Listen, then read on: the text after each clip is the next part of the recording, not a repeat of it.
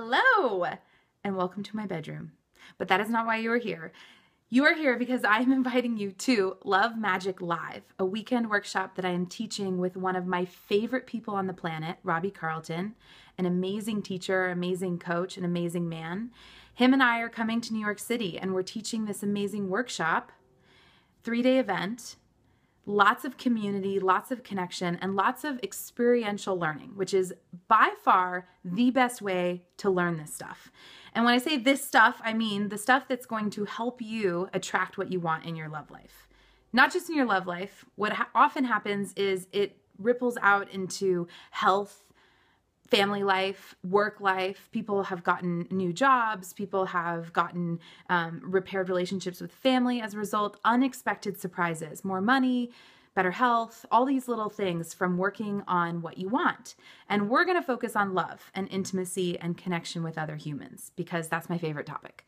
However, it's going to help you in your entire life.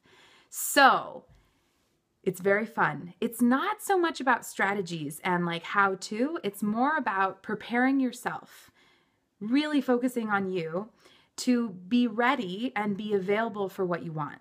So that's where the magic comes in. It's not about working hard and putting in tons of time and stressing out and uh, I don't know what other else people do about this stuff. It's actually about preparing yourself to have what you want.